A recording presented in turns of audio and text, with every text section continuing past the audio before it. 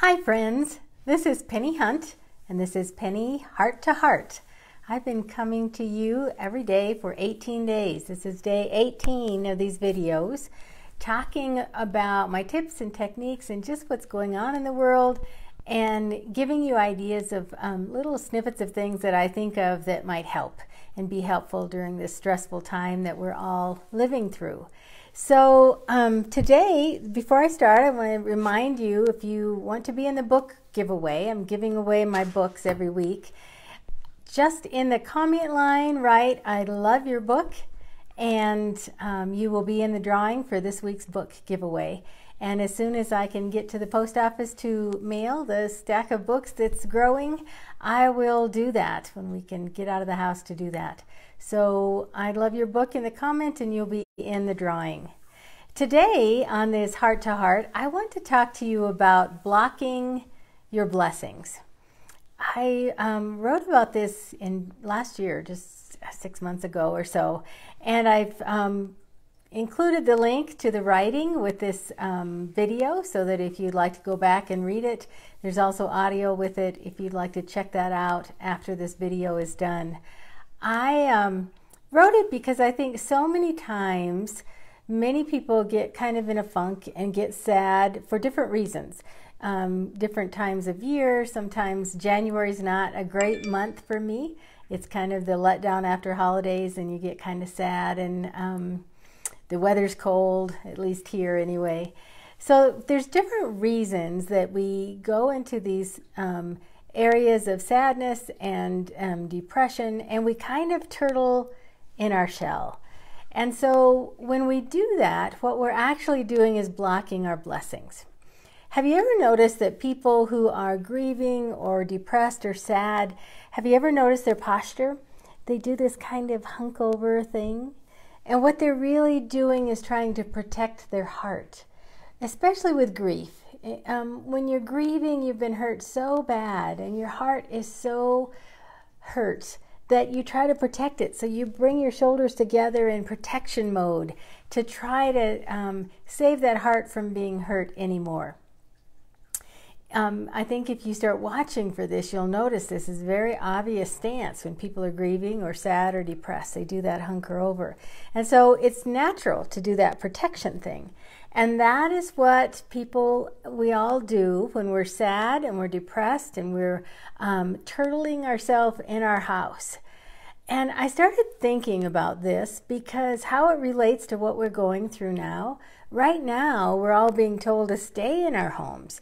So we are um, turtling, pulling into our shell because um, we need to to stop the spread of the virus and keep um, germs away and keep ourselves healthy and other people healthy.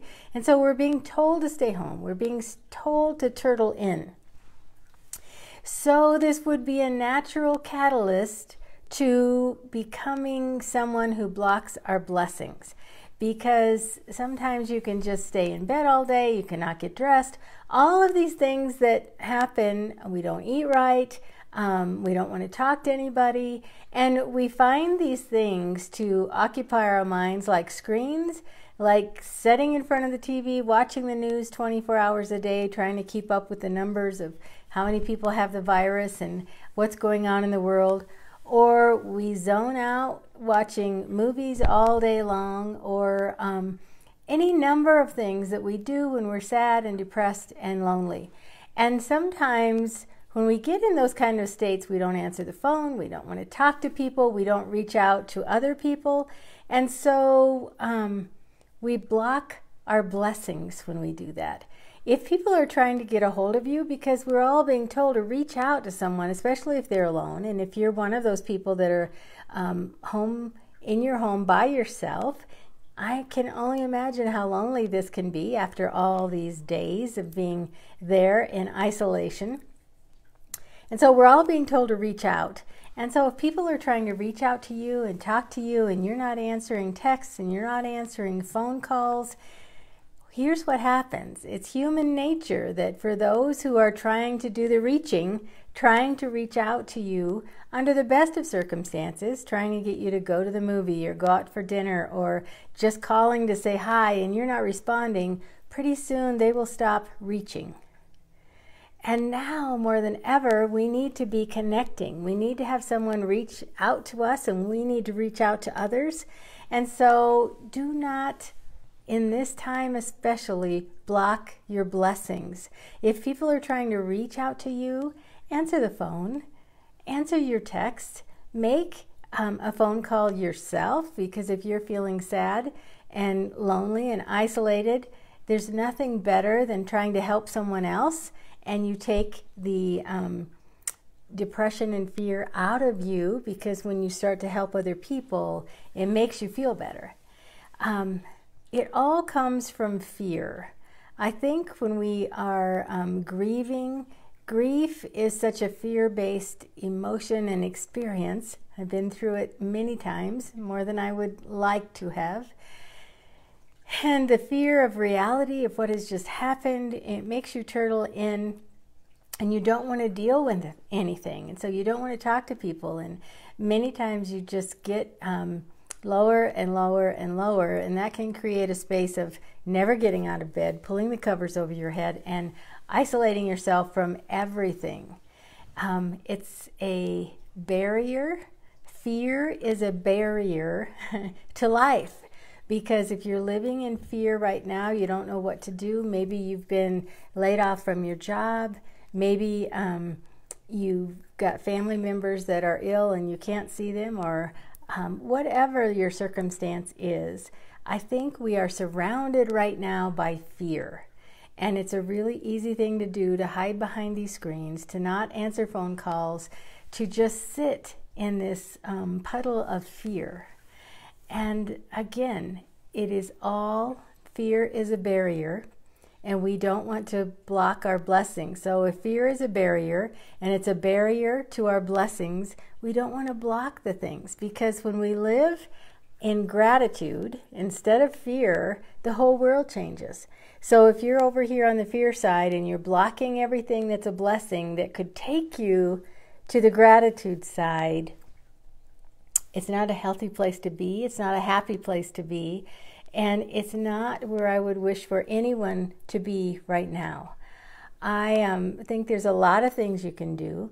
First of all, um, you can stand up if you're having trouble even getting those covers off and uh, getting out of bed, stand up and move. What I have learned is when you want to move the least is probably when you should move the most.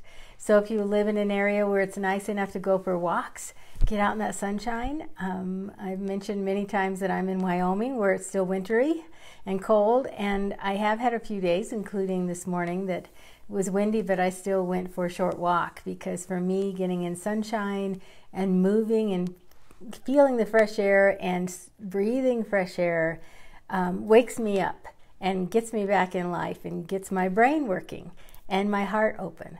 And so I would encourage you to do that if you live in a place where you have nice weather. So stand up, move your body, and reach out. If um, people have been trying to get a hold of you and you've been kind of ignoring the phone and ignoring the messages, maybe it's time for you to reach back to them because, like I said, it's human nature. People will do that so many times and then they will stop. So it's your job to answer their their call, answer that answer the messages so that you can have some kind of connection because connection is what opens your blessings. It what unblocks the barriers so that you allow your blessings to come in. So I wanted to talk to you about this. I want you to be thinking about are you blocking your blessings or are you blocking yourself from giving blessings to someone else?